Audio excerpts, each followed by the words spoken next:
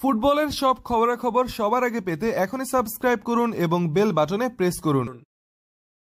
চলমান কোপা আমেরিকায় একের পর এক অসাধারণ পারফর্ম করে ব্রাজিলকে দুর্দান্ত সব জয় এনে দিচ্ছেন নেইমার জুনিয়র। প্রতি ম্যাচে গোল করতে না পারলেও সতীর্থদের দিয়ে গোল করানোর পাশাপাশি দলের জয়ে বড় অবদান থাকে বিশ্বের সবচেয়ে দামি এই ফুটবলারের। এদিকে কোপা আমেরিকার এবারের আসরে টানা জয়ে দারুণ কীর্তি গড়েই চলছে ব্রাজিল। জয়ের ধারা অব্যাহত রেখে অপরাজিত গ্রুপ চ্যাম্পিয়ন হয়ে নকআউট পর্ব নিশ্চিত করা ব্রাজিল। কোয়ার্টার ফাইনালে চিলিকে পরাজিত করেছে এক শূন্য গোলে। সেই ম্যাচে ব্রাজিলের করা লুকাস পাকুয়েতার গোলেও অবদান ছিল নেইমার জুনিয়রের। এক শূন্য গোলের জয়ে সেমিফাইনাল নিশ্চিত করেছে ব্রাজিল।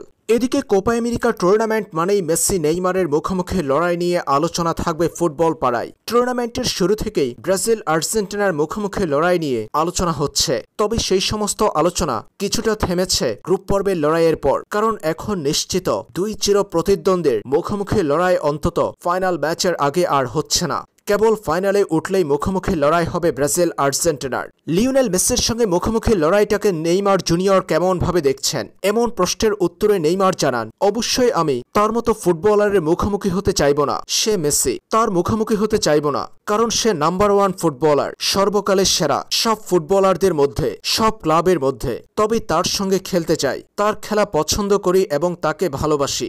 লিওনেল মেসির মুখোমুখি হওয়াটাকে ভয় হিসেবে দেখছেন নেইমার। মেসিকে সর্বকালের সেরা ফুটবলার মেনে নিয়ে এমন মন্তব্য করেছেন ব্রাজিলিয়ান তারকা।